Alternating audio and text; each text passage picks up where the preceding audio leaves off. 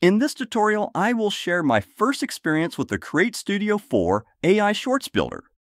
It took me three attempts to finally get my creation right. Let's just say mistakes were made. Tears were shed.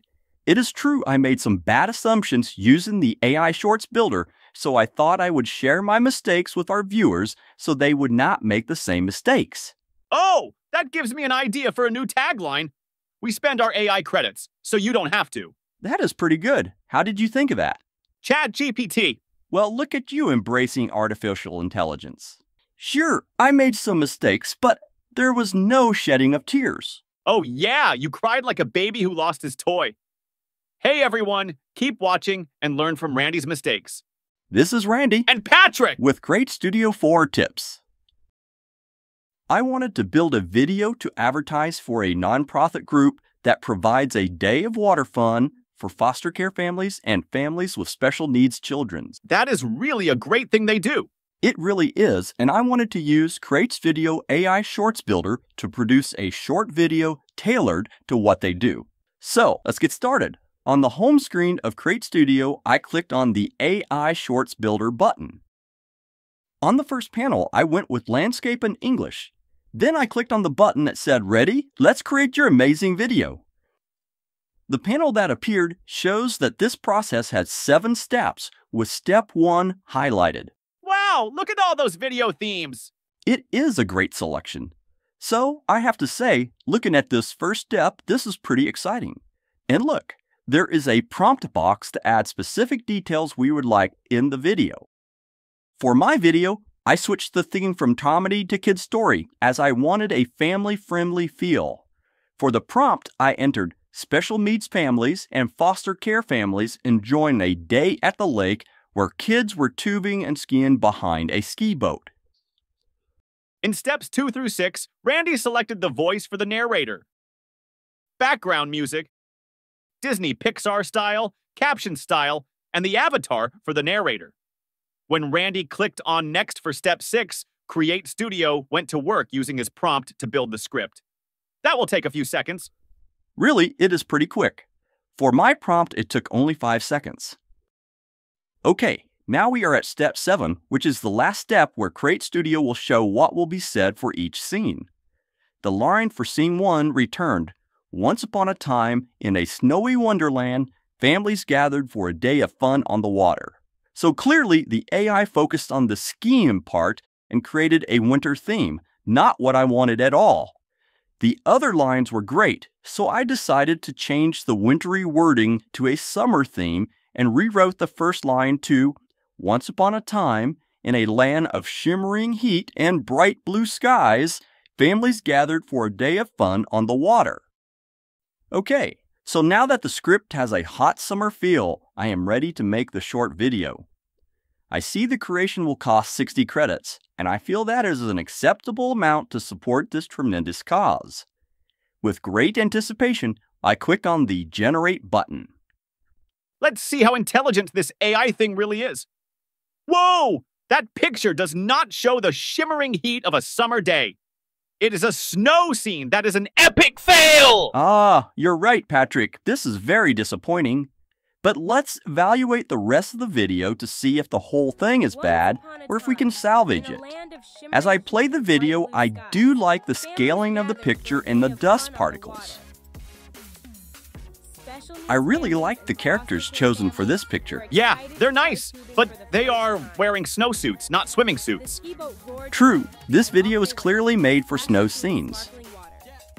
The transitions look nice. Sure, but again, the AI completely ignored the change you made about the shimmering heat. Yep, the pictures are clearly made for winter snow skiing. So, what went wrong? Why didn't Create Studio see the script change I made? Well, here's my theory. The pictures and scripts were generated after step 6.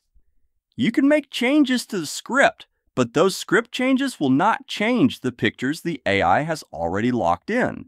The bad assumption I made was to assume I could influence the images by changing the script in step 7. I now know that the images are locked in and match the script generated by the AI Shorts Builder.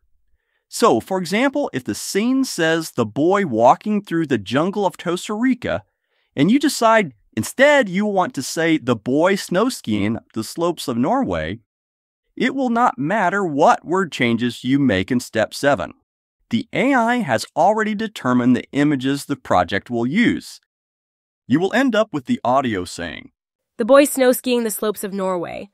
but the image will be of a boy walking through a jungle. So, here's the tip. If the script is not going in a direction you want, don't spend your credits. Go back to step one and be even more specific in your prompt. I wish we knew that before spending our 60 credits. Oh, that's right. Here at Randy's Tips, we spend our AI credits, so you don't have to. But before creating a more specific prompt, I am curious what Create Studio will do if we provide the same prompt again. Will it produce essentially the same script and therefore video? So, Randy entered the same prompt as before in step one and selected all the same options for steps two through six. Let's see what the script looks like. Well, scene 1 says it's a sunny day with a sparkling lake. Scene 2 has adventure on the water. Scene 3 says there's a big blue ski boat. And scene 4 has a tube being pulled through glistening water. So this is a different script than before, and it definitely feels like summer. So I'm going to go for it and spend 60 credits to see what Create Studio comes up with this time. Hey everyone, isn't that brave of Randy? But here at Randy's Tips, we spend our AI credits. Okay, Patrick, they got it. All right, let's see what Create Studio produced. The first scene does feel like a summer day at the lake. Let's play it and see what the video looks like. Once upon a sunny day, special needs families and foster care families gathered at the sparkling lake. The children were That's a great picture. a The kids are in water ski vests the and they are having a lot of fun. Some kids hopped Oh, no. Oh bother, we are back to having a winter time. scene. With a splash. Fail! Fail! Epic Fail! Okay, settle down, Patrick. So even though the script did not have any winter wording, the AI interpreted skiing as being a winter activity. Clearly, I need to be very specific in the prompt that this is water skiing in the summertime. So this time, What? You are going to try it again? but this last time, I will be very clear in the prompt that this is a summer day. With the new, more specific prompt, Randy selected his choices for steps two through six. And here we are at step seven. Hey, look at that! The first line clearly states it is a hot summer day. There should be no confusion now. Randy will generate the video, and let's see just how smart this artificial intelligence really is. It starts off with a scene of a lake, and good news, it's not frozen. The second scene has a lot of boats, but many are canoes, so unfortunately, this will not work for my project. This is a great picture for water skiing. That's a fun image. Many of the images are great, but some don't quite fit the vision I had. Okay, these are nice picnic scenes. I can definitely use those. So, what's your verdict? Are you going to use this video for your water skiing activity? Well, I'm going to swap out the images I did not like for others generated in the previous attempts or from other sources. That sounds super useful. Why don't you show everyone how to do that? Here I loaded the previous video, and I want to use this picture with the kids in the water vest. At the top left, click on the media icon. In the media folder that opens up, you can see all the pictures generated for the video. I will right mouse click on the one I want and select Copy to Global. This means the picture is now available to any Create Studio project I am working on. Okay, now back to the video we just created. Find the picture you want to replace by moving the playhead along the timeline.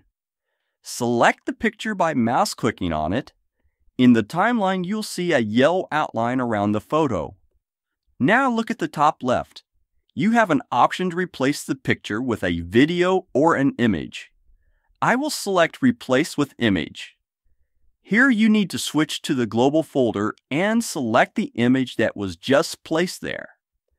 When I click on the image, you can see it replaces the one on the timeline I did not like. Wow, that is a great tip. But you should inform our viewers that the images don't need to come from Create Studio. That is right, Patrick. In the Media folder, Create Studio has integrated sources where you can import videos or images. Another option is to import images made by other AI sources. I will replace the next image in my video with this one I just imported. It is a great image of kids on an inflatable tube being pulled by a boat. Changing images is super easy, but what about changing the audio part? That is a little bit more complicated, but not too bad. You certainly don't want to go back to step 7 and spend credits if you want to change the audio. For this scene, I replaced a girl on skis with kids being pulled in an inflatable tube. So now I want to change the audio from speech to so it says tube instead of skis. The biggest tip is to use the same AI voice for the retake of the audio clip. First, scrub your playhead through Speech 2, recording the words. In my case, I captured and I note some kids were riding on skis gliding over the sparkling water. Now, head to the AI Text to Speech feature. Click on the musical note icon. On the next panel, click on the word speech. Here I will use the voice Hayden, which is the narrator used in the AI Shorts Builder. Now that the voice is selected, I will copy the text into this box and change the word skis to tube. Okay, the next step is to click on the Generate Speech button. Some kids were riding on tube, gliding over the sparkling You can preview water. the result and then import the audio into your project. Open the Media folder and search for the newly created audio. It will be at the bottom. Further down. There you go. All we have to do now is delete Speech 2 on the timeline by selecting it and hitting the Delete key. Then drag the new audio into the spot where Speech 2 previously existed. The final step is to regenerate the captions for this new audio track. In the top left, click on the Generate Captions button, select your language, then choose the same style selected in the AI Shorts Builder. It is good to know there is some flexibility to change the output from the AI Shorts Builder. Create Studio does deserve credit for providing a convenient Ha! Credit! Oh, I see what you did there. As I was saying, Create Studio does make it easy to tweak the output of the AI Shorts Builder. Well, everyone, I hope the mistakes I made will help you as you try Create Studio's AI Shorts Builder. That's it, Patrick. Why don't you sign us off? We spend our AI credit. Not that one. Oh, hey everyone, have a good day and happy creating.